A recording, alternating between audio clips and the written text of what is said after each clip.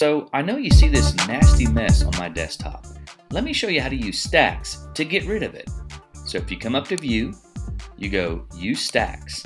Now it has stacked everything in order for you, which is nice. You have folders and you have uh, it outlined by images, PDF documents, music, movies, others, and screenshots.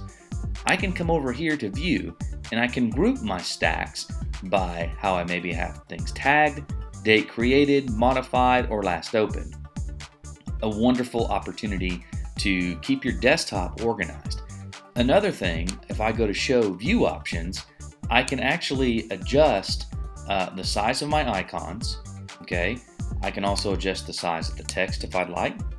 The other thing is that if I do this, I can show the item info. So I can see how many items are actually in that folder, which is really nice. And I can even turn off the icon preview if I want. I like this feature too about just adjusting the space on the desktop as well. The other thing that is really nice is the label position feature, which if you want, if you're if you like everything lined up really nice and neat on the right side, that's helpful. Or if you put it on the bottom, then it looks like this.